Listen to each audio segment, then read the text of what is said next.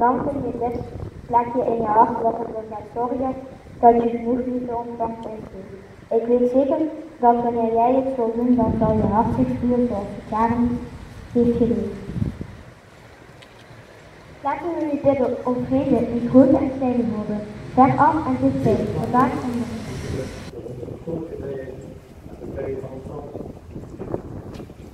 Laten we de geschiedenis van deze eeuw leren dat vrede en vriendschap bijzonder kostbare en uiterst fundamenten zijn voor eerlijke en mensvriendelijke maatschappij. Ik dank u wel.